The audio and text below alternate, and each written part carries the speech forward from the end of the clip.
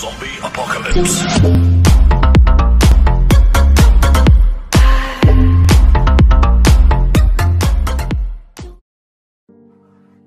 வணக்கம் நண்பர்களே. நம்ம ஆல்ரெடி சொல்லி இந்த மாதிரி டிஃபென்ஸை வந்து நிறைய பேர் சைன் பண்ணிட்டாங்க ஃபாரினராக இருக்கட்டும் இந்தியனாக இருக்கட்டும். இப்போ சென்னை நியூஸ் வந்து திடீர்னு ஒரு டாக் என்ன வந்துச்சுன்னா இல்லை நாங்கள் வந்து இருக்கிற ஃபாரினர் ஒரு பிளேயர் இருக்கார். ஸோ அவரை நாங்கள் வந்து ஸ்ட்ரைக்கரை சைன் பண்ண போகிறோம் அப்படின்னு பேசுகிறத நம்ம நேற்றுக்கு வீடியோ போட முடியலன்னு கூட அதுக்கு முன்னாடி நான் நம்ம வந்து சொல்லியிருந்தோம்.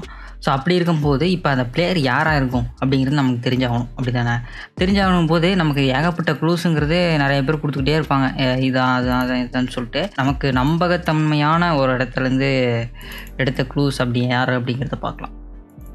அப்படி பார்த்தோம் அப்படின்னா Chennai FC have a striker from God's own country அப்படின்னு மார்க்கஸ் போட்டிருந்தாரு. காட்ஸ் ஓன் கண்ட்ரினா ஒருவேளை கேரளாவாக இருக்குமோ? அப்படின்னு நமக்கு டவுட் வந்துச்சு. பட் கேரளா வந்து ஃபாரினர் கிடையாது. ஸோ அந்தளவுக்கு மூளை இருக்கனால நம்ம இல்லை அவர் இல்லை கேரளாவில் எது பிளேயர் இல்லை அப்படின்னு நினச்சிட்டு அப்படி பார்த்தா கூட ஒரு ஒரு ஆல்ரெடி இருக்கிற ஸ்ட்ரைக்கர் சொல்கிறாரோ ஜாபி ஜஸ்டினா அப்படிங்கிற டவுட்டும் வந்துச்சு. ஸோ அப்புறம் வந்து அவர் கொண்டா கழிச்சு வேற ஒரு ட்யூட் போட்டார். இது அவனுக்கும் புரியல அப்படின்னு சொல்லிட்டு வேற ஒரு ட்யூட் போட்டார் அது வந்து ஒரு படத்தை பற்றி சொல்லியிருந்தார். ஒரு மூவி படத்தை பற்றி சொல்லியிருந்தார். அது வந்து என்னமோ அது வந்து பிரசீலில் நடக்கிற மாதிரி ஒரு கதை. ஸோ ஆல்ரெடி நிறையா பேச்சு இருந்துச்சு. இந்த மாதிரி பிரேசில்லேருந்து ஒரு பிளேயர் வருவார். புரிராம் யுனைடெடில் வந்து நம்ம கோச் ஆடிட்டு இருக்கும்போது பிரசீலியன் ஸ்ட்ரைக்கரை வச்சு தான் ரொம்ப நேரம் மூவ் பண்ணியிருந்தாரு. ஸோ அப்போ ஒரு பிரசீலியன் ஸ்ட்ரைக்கர் வரக்கு வாய்ப்பு இருக்குது அப்படின்னு நிறைய பேர் பேசியிருந்தாங்க. அது நானும் கூட கொஞ்சம் ஒத்துருந்தேன். ஏன்னா இவர் யூஸ் பண்ணுற டாக்டிக்ஸில் பிரசீலியன் பிளேயர் வந்து நிறையா யூஸ் பண்ணியிருக்காரு. அந்த ஹெட்டிங்க்கெல்லாம் நிறைய யூஸ் பண்ணியிருந்தாரு. ஆனால் வந்து அந்த மாதிரி எந்த பிளேயருமே நமக்கு தென்படலை. பார்த்திங்கன்னா போலாண்டு மாண்டனிகிரோ இவரோட கண்ட்ரிலேருந்தே கூப்பிட்டு வந்தார். ஸோ இந்த மாதிரி பிளேயர்ஸ் நிறைய பேர் இருந்தாங்க. ஸோ அப்படி இருக்கும்போது திடீர்னு ஒருத்தர் மாட்டினார். யார்? Rafael Silva. ரஃபேல் சில்வா நடிச்சிங்கன்னா வேற ஒரு பிளேயர் வருவார். நான் அதையும் காட்டுறேன். இந்த பிளேயர் நான் இந்த பிளேயரை பார்த்துட்டு இருந்தேன் இன்னும் இந்த பிளேயரா அப்படி இப்படின்னு பார்த்துட்டு இருக்கேன் பார்த்தா அமௌண்ட்டு பார்த்தீங்கன்னா பன்னெண்டு கோடி இருக்கு. வாய்ப்பு இல்லை. அப்புறம் திருப்பி கீழே பார்த்தீங்கன்னா ரஃபேல் டி சில்வா அப்படின்னு சொல்லிட்டு இருப்பார்.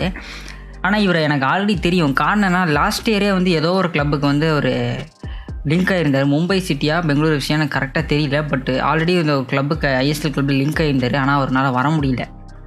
ஸோ வர முடியாதனால நான் வந்து இவர் ஒன்றும் அவ்வளோக்கா யோசிக்கல. இவர் திருப்பி இந்த வருஷம் ரிட்டர்ன் கொடுப்பாரு அப்படின்னு சொல்லிட்டு பட் ஆனால் நம்ம நினைக்கிறது ஒன்று நடக்கிறது ஒன்று நம்ம நினைக்கிறது ஒன்று சென்னை எஃப்சி நினைக்க நினைக்கிறது ஒன்று அப்படின்னு வச்சுக்கலாம்.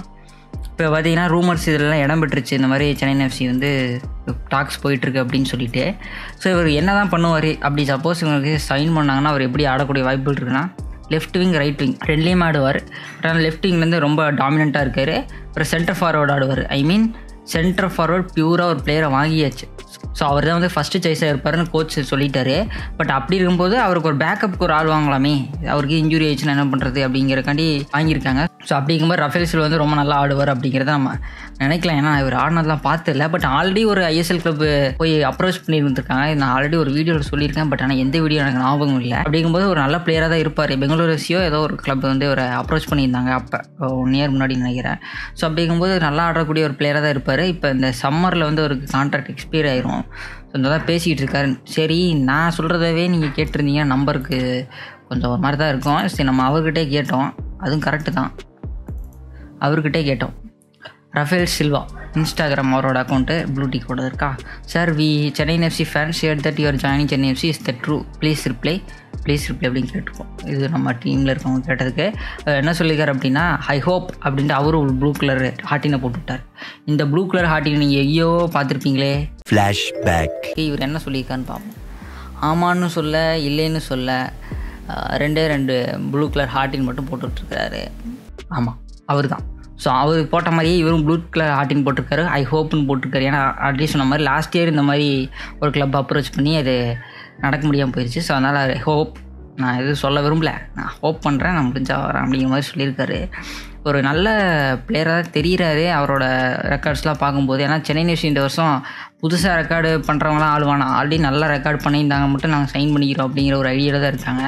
இப்போ பார்த்தா கூட பார்த்தீங்கன்னா ஒன் ஃபிஃப்டி எக்ஸ்பீரியன்ஸ் நிறையா இருக்குது கோல்ஸ் அந்த அளவுக்கு இல்லைன்னா கூட ஐஎஸ்எல் ஆடும்போது கொஞ்சம் நல்லா ஆடுவார் அப்படின்னு நம்ம நம்பலாம். ஸோ அசிஸ்ட் பண்ணியிருக்காருன்னா அவர் வீங்கில் ஆடக்கூடிய ஆள் மிட்ஃபீல்டில் ஆடக்கூடிய ஆள் அப்படிங்கிறனால.